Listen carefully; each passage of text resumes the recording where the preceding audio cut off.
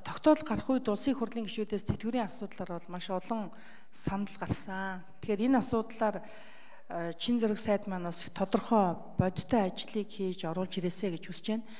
Нэгдүгээр 1990 онд залуугаараа дөрвөн хүүхдээ гэж ер нь хөдөлмөрлөх хэрэгээ хасуулж адлагдаж албан ёсоор хүчээр тэтгэврт гарсан ийм олон ээжнэр байдаг юм аа. Тийм учраас энэ ихчүүд бол одоо үр хүүхдээ өсгөх хүмүүжүүлэх ажлыг бол их хариуцлагатай хийсэн. За хамгийн бага тэтгэврийг авдаг одоо ч авсаар байгаа.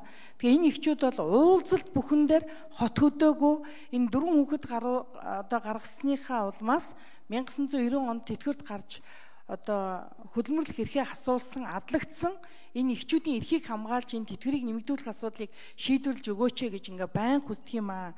Тийм учраас энэ одоо үр хүүхдээ өсгөж хүмүүжүүлсэн Монгол улсын хүн ам зүйн бодлогыг дэмжсэн төрд ямар ч гай дарамт болоогүй одоо ажил амьдралаа аваад явж байгаа энэ хідэн ахмадуудын тэтгэврийг нэмэх асуудлыг онцгойлон анхаарад тэтгэврийн ихтгэлцүүр боддог аргачлалаа өөрчлөөд ингэж оруулж ирээч. Ер нь энэ ахмадуудын одоо 60% нь баг нас одоо баг тэтгэвэр авж байгаа. Тэгэхээр энэ баг тэтгэвртэй ахмадуудын тэтгэврийн зөрөөг нэмэгдүүлэхдээ их авж байгаа хүмүүсийнхээ нэг удаадаа бас арай одоо ихээр нэмэхгүйгээр баг авж байгаа хүмүүсийг арай илүү нэмээд нэг хоёр удаагийн юм үүдэл хийчих юм бол энэ тэтгэврийн зөрөөг арлах асуудал арай ойртох тийм боломж бүрднэ. Тийм учраас энэ асуудлыг шийдэх чиглэлээр нийгмийн хамгаалал хөдөлмөрийн яам бол их зоригтой, дөрвтэй арга хэмжээ авч энийг цөөхөн хідэн эхчүүдийн сэтгэлийг нэг амрааж өгөөч гэж хүсэж байна.